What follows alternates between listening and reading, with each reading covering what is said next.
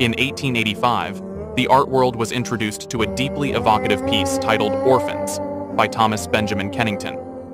This painting, rich in emotion and detail, captures the vulnerability and innocence of two young children, presumably siblings, left to navigate the world without the guiding hand of their parents.